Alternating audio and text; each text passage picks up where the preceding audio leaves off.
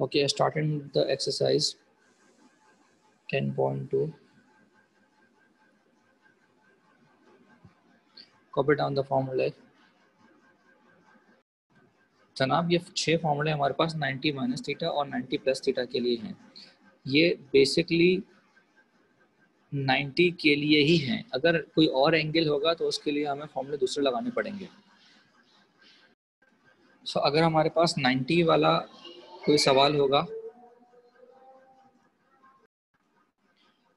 Alpha, beta वाले फॉर्मूले तब लगेंगे जब 90 के अलावा कोई और एंगल्स होंगे। और 90 वाले फॉर्मूले जब लगेंगे जब हमारे पास सिर्फ़ 90 होगा। जैसे मिसाल के तौर पे अगर हम क्वेश्चन नंबर वन देखें। क्वेश्चन नंबर वन में हमसे कहा जा रहा है कि हमें प्रूव करना है कॉस 180 डिग्री प्लस थीटा बराबर है माइनस कॉस थीटा अब अगर मैं यहाँ पर लेफ़्ट हैंड साइड कंसिडर करूँ तो लेफ़्ट साइड है मेरे पास कॉस 180 डिग्री प्लस थीटा तो अब ऑब्वियसली यहाँ पर एंगल जो है वो 90 नहीं है। तो अब जो मैं यहाँ पर फॉर्मूला यूज़ करूँगा, वो यूज़ करूँगा मैं कॉस एल्फा प्लस बीटा का फॉर्मूला यूज़ करूँगा।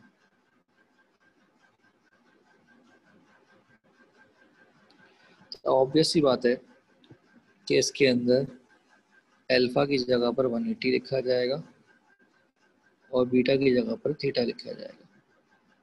तो जनाब ये हो जाएगा cos 180 degree into cos theta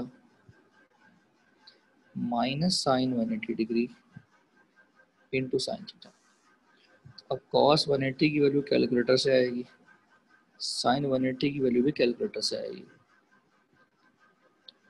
जनाब कॉस 180 होता है माइनस वन और जनाब साइन 180 होता है ज़ीरो ज़ीरो से मल्टीप्लाई करेंगे तो ऑब्वियस सी बात है ज़ीरो ही आएगा। जनाब that is equals to right hand side proved. Any problem in this question? जनाब इसी तरह का एक और सवाल देखते हैं। क्वेश्चन नंबर है हमारे पास। फोर। हमसे कहा जा रहा है जनाब tan 360 degree minus theta is equals to minus tan theta जनाब, यहाँ पर भी हमने लेफ़्ट हैंड साइड कंसिडर की। टेन 360 डिग्री माइनस थीटा अब यहाँ पर एंगल 90 नहीं है। सिंपल रैंडम एंगल है। तो रैंडम एंगल के लिए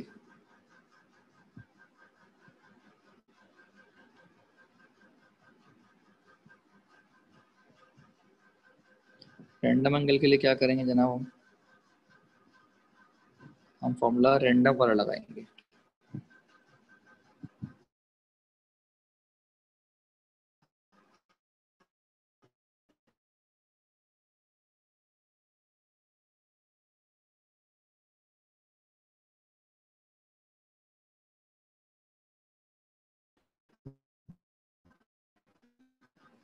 तो tan alpha into tan beta तो ऑब्वियस ही बात है, अगर हम मैचिंग करें तो अल्फ़ा की जगह पर 360 डिग्री और बीटा की जगह पर थीटा डालेंगे हम। क्या ये बात क्लियर हो रही है आपको? तो अब फॉर्मूले में हम जब डालेंगे तो ये हो जाएगा tan three sixty degree minus tan theta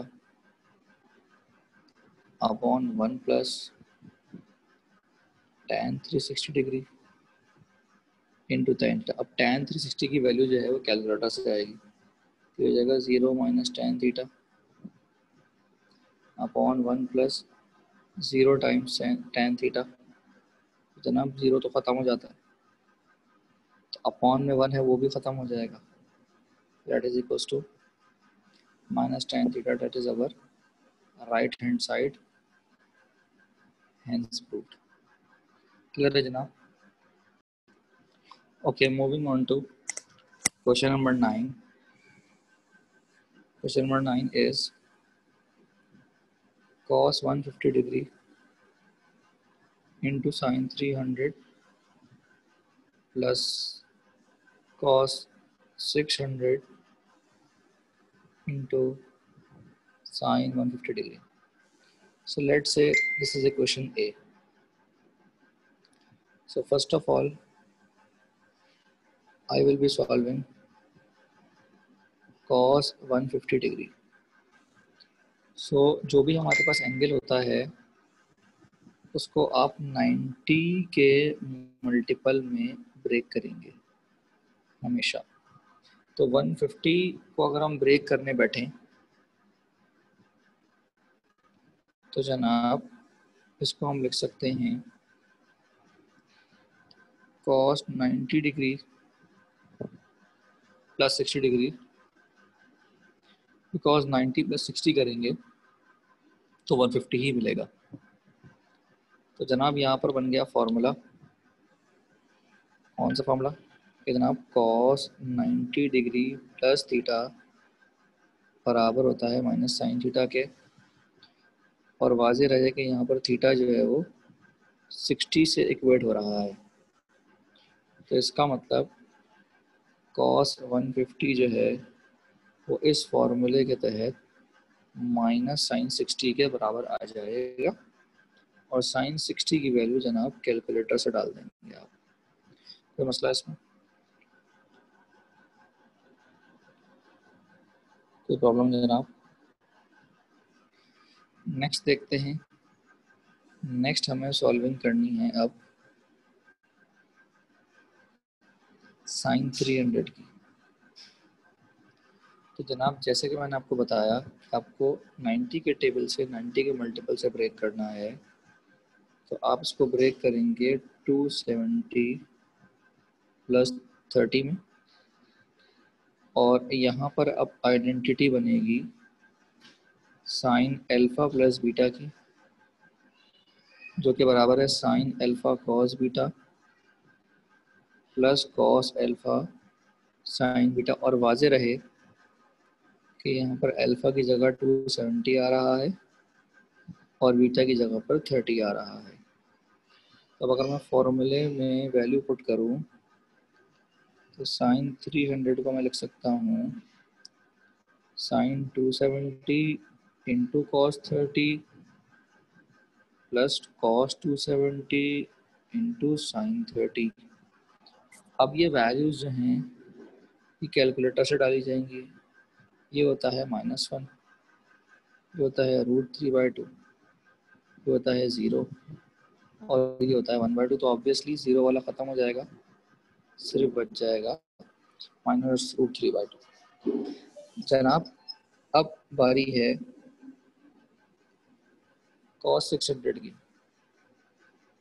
तो जैसा कि मैंने आपको बताया कि जो भी एंगल होता है उसको हम 90 के टेबल से ब्रेक करते हैं तो मैं करूँगा 540 प्लस सिक्सटी तो जनाब, यहाँ पर फॉर्मूला बन जाएगा अब कॉस एल्फ़ा प्लस बीटा का, जो कि होता है cos alpha cos beta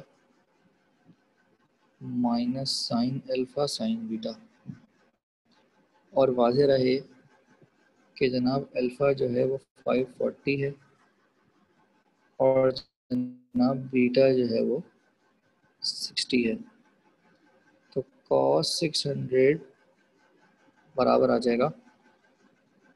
Five forty into cos sixty minus sine five forty into sine sixty तो कॉस फाइव फोर्टी अगर हम कैलकुलेटर से निकालें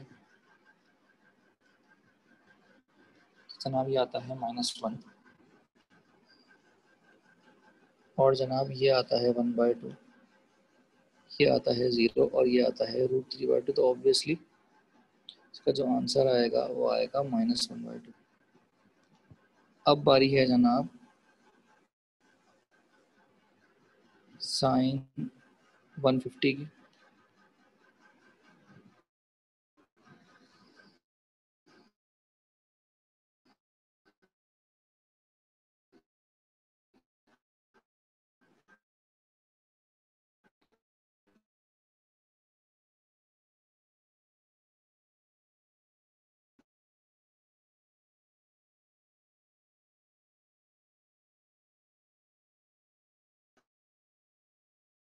तो इसको फिर से ब्रेक किया जाएगा। प्लस डिग्री से। तो जनाब साइन 150 इस फॉर्मूले को यूज़ करते हुए बन जाएगा। कॉस 60 जो कि बराबर होता है वन बाई टू के। तो जब ये तमाम तर वैल्यूज़ हमारे पास आ जाएँगी तो हमने कुछ भी नहीं करना। इक्वेशन ए में डाल देना। इक्वेशन ए जो थी हमारे पास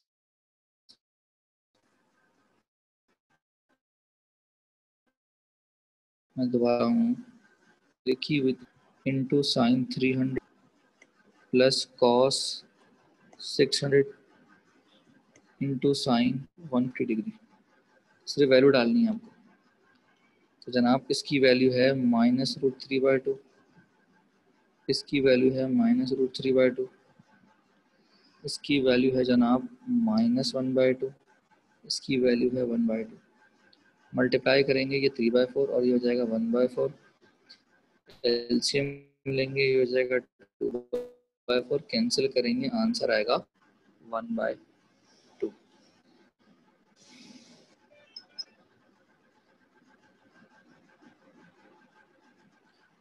क्लियर है जनाब? बात समझ में आ गई है?